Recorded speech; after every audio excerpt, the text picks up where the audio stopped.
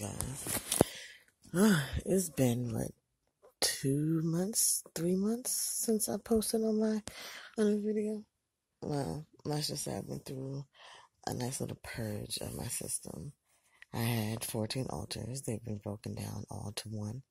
Some items were time to be discarded, others were put away, and still others needed to or are going to be sent off to friends um, for stuff that I created.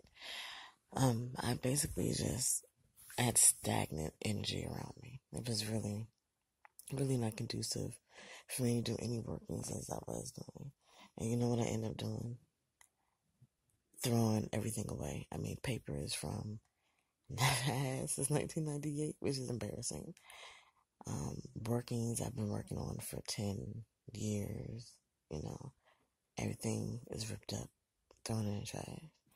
Um, my death book isn't, um, a couple of my, you know, my big journal books aren't, but any other paper notebooks that just had information in them, everything has been thrown in the trash. So the energy feels a lot, a lot better. Um, I'm, right now I'm doing teaching for Daughters of Lilith. I'm still working. Um, I'm doing my priestess, so I'm still doing that. Um, everything is still going. Excuse me, it's early in the morning.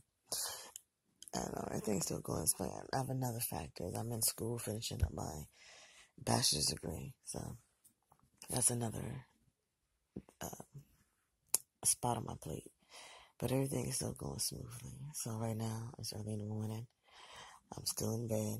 I will be getting up real soon, probably after this video, to go ahead and start on my homework and get everything done, have myself on a schedule. Um, I will post another video next week, not this week.